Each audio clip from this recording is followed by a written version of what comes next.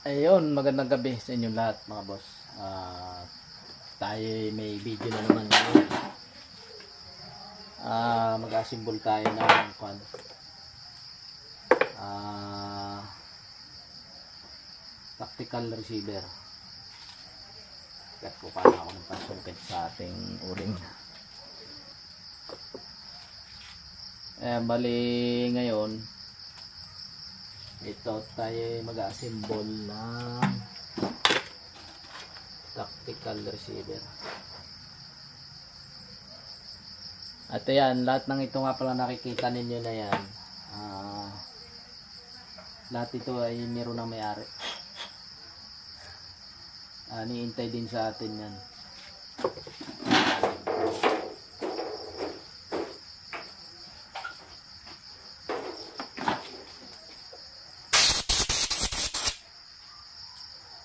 Bali ngayon eh ating aasimbulin ano.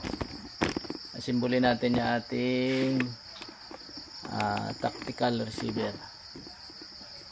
Ayan. Ah, ito po yung ating aasimbulin. Ayan, ito. With horn yan. Ito po yung ating receiver. Ayan. Ayan, ito po yun. at ating bubuuhin na. Ito tama lang kasimple yung ating nga pala. Ah mechanism ng ating mga receiver. Ito yung internal and ito yung ating valve housing. Ayan. Ah, nakakon yung kanyang nakakun Ayan, ayan, oh. Nakakun. Kahit ito eh ah, pump lang, pasok agad yung hangin. Kahit mag-isa ka lang magbumba, mag-pump. Yan eh, sasalpak na natin.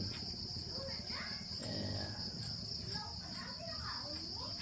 Ganyan lang kasimple yung ating receiver mga boss. at tayo walang pang higpit kalimutan natin. Tiga ito lang ang gamitin natin oh. yan hmm. okay na. Yan, lagyan natin ng o-ring dito sa kanya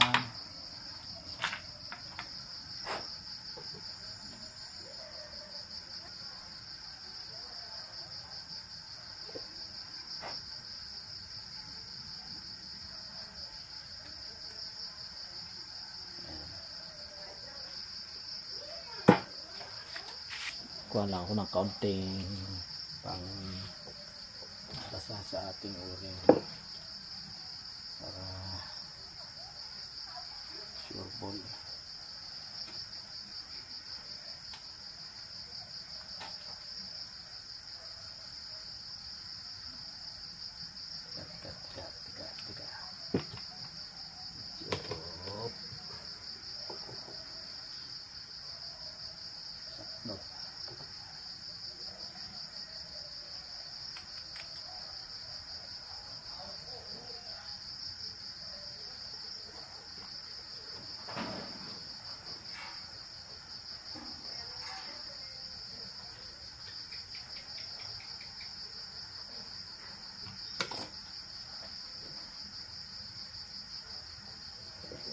Tapos ito na yung ating trigger housing. Yan yung kanyang hammer. Hammer natin. Ayan. Simple lang yung hammer natin mga boss. Wala na natin ganong inartihan yan. Ayan na. Ito yung hammer natin. Lagyan natin.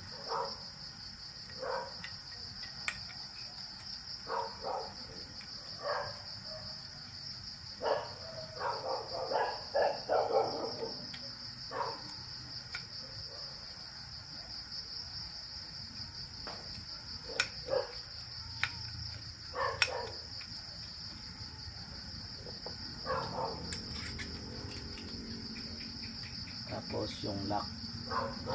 Stainless yung bolt na lock mo.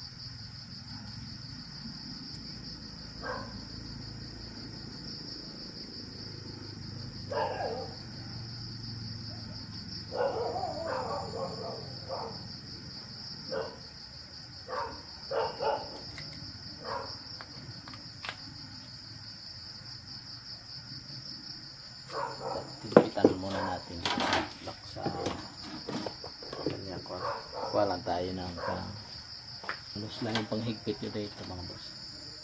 Ayan.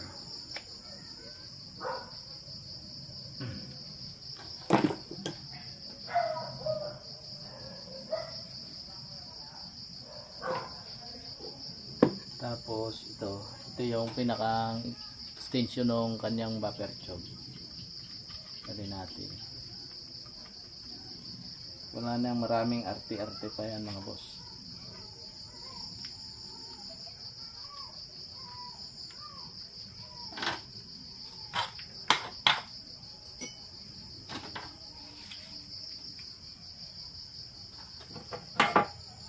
Allen bolt lang na stainless yan mga boss, mga boss.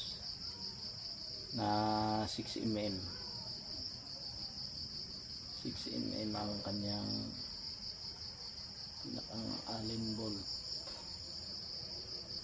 Ang lock niya.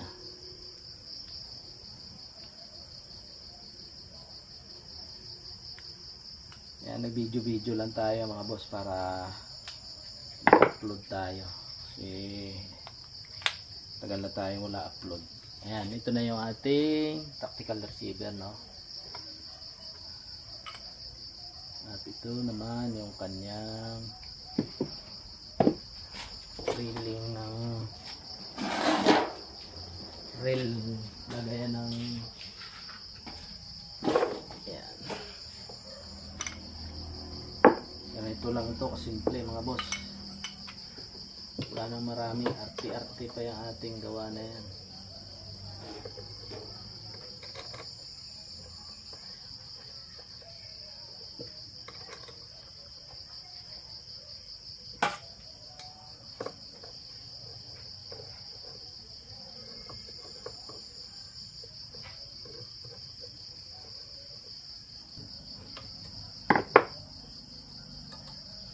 ah, trabaho dito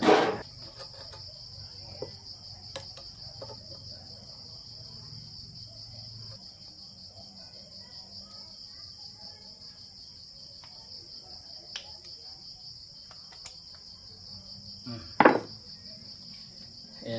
Oh. Ito na yung ating tactical receiver. Ayan, maglalagay na lang tayo ng ah gauge sa output niya. Ayan. Shout out sa may-ari nito. Ito sir yung receiver mo sir. Tactical receiver. Yan. Simple simple lang.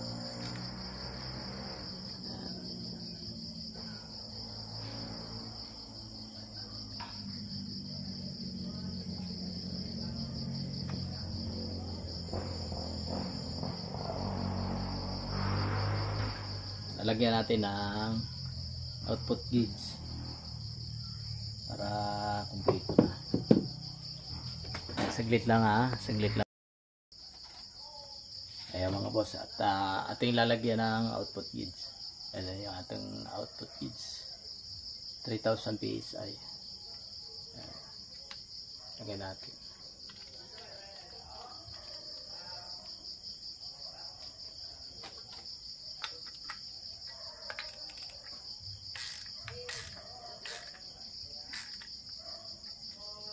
Gamit nating socket ay 24 mm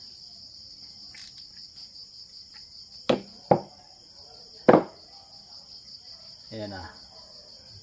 Bali ito ay receiver lang na order sa atin.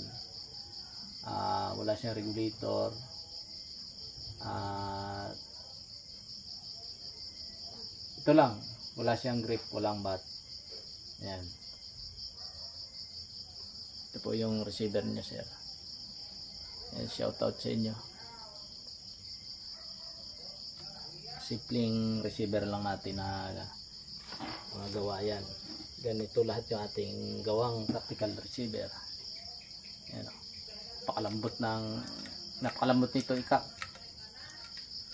Ah, bali hindi pa natin ito titisting bukas titistingin natin ah, kung sasalpakan natin ito panumpit tapos tank regulator para maligtis natin at matesting natin kung ah, may blue back siya o kung may mga singaw siya. Simple lang. Ah, ito, meron tayo ritong ilan pang tactical. Bali,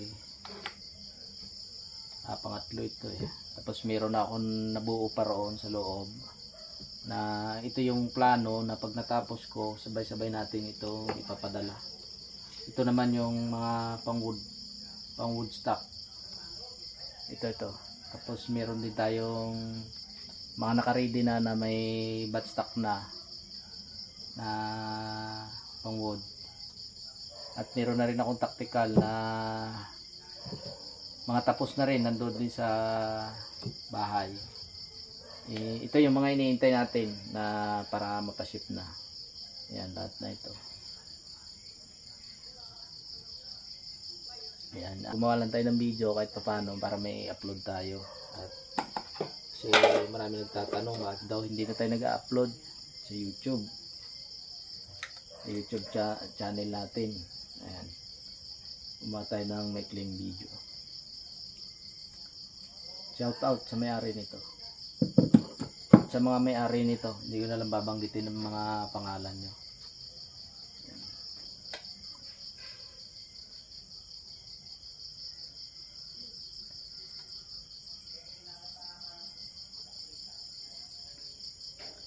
Sige, at di na natin papangabain pa yung video natin at tayo mag-overtime pa.